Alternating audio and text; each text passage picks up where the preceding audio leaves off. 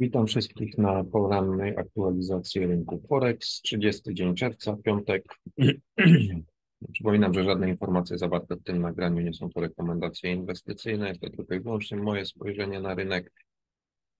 E, I rozpoczynam sobie od kalendarza inwestycyjnego. Dzisiaj Wielka Brytania już za nami. Polska nie sądzę, żeby to miało większy wpływ na rynki europejskie, jedynie kurs e, dolara do złotówki, która się nam umacnia dość mocno.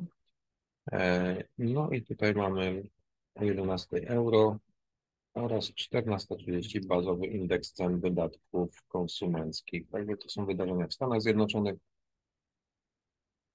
i one mogą mieć największy wpływ na, na, na rynki, jak zwykle 14.30 obserwować wykresy. Przechodzimy już teraz e, do Nasdaqa. Nasdaq dotarł do strefy podażowej. No i tutaj stąd spodziewam się reakcji e, właśnie podażowej, e, już raz miała miejsce. Gdybyśmy wybili tą strefę, zamykając się nad 15 068, następnym targetem dla mnie będzie 15 189, 15 200. E,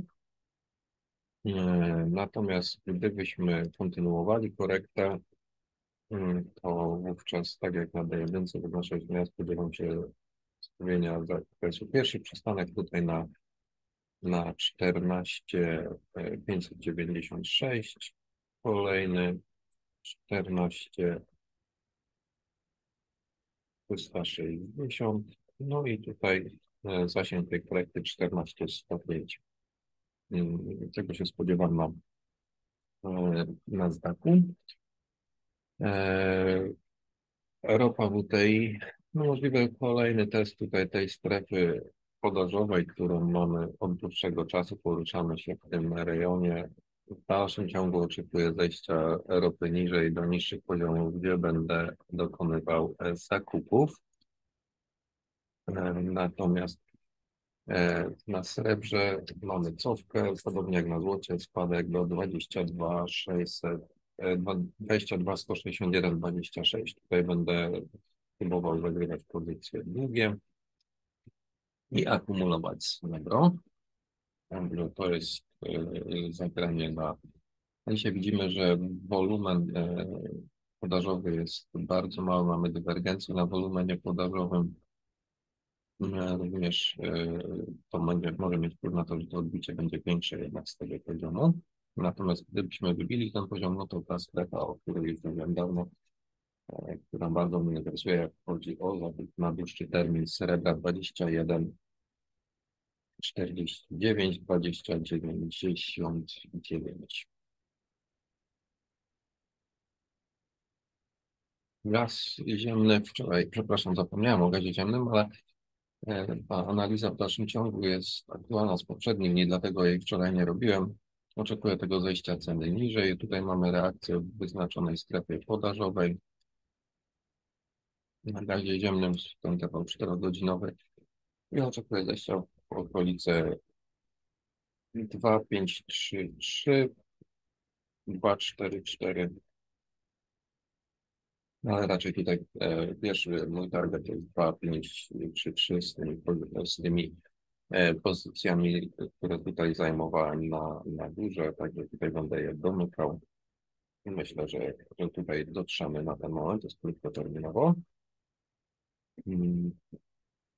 Na złocie jesteśmy w strefie popytowej, którą sobie wyznaczyliśmy już prawie dwa miesiące temu i, i tutaj tą strefę ob, o, obserwuję jej wybicie i zamknięcie się świecy na czterogodzinówce poniżej tej strefy bądź jednodniowy, na jednodniowy. Jeżeli zamkniemy się poniżej tej strefy, no to jest możliwe zejście do 1867 i tutaj też będę próbował akumulować.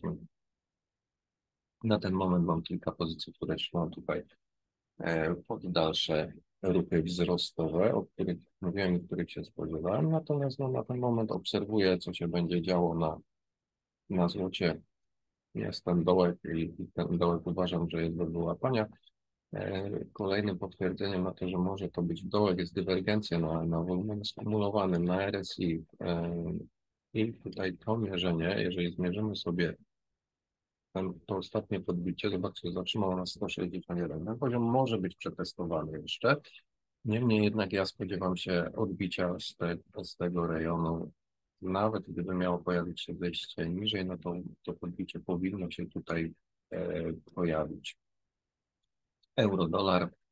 Widzimy, jak e, dolar odbija, także że tutaj e, przejdziemy najpierw do DXY. Jeżeli wybijemy 103, 363, no, 360, następny target dla mnie to jest 103, 844. No wiadomo, że jeżeli będzie dolar, mamy rósł, no to pary do dolara, jak funt i euro, dolar będą nam spadały.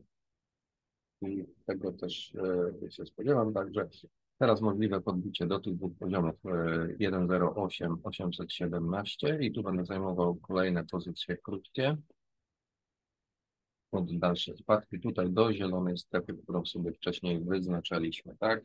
Jeżeli puści nam ten poziom, no to spodziewam się zejścia tutaj w teren na euro USD, natomiast te wszystkie poziomy na czerwono, które tutaj mamy, to są poziomy, na których ja będę zagrywał pozycje krótkie. Tutaj mamy ważną strefę do wypełnienia taką czerwoną.